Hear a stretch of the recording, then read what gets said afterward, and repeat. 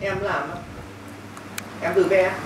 à, còn con nhân vật này là em tự vẽ còn con phải lên trên này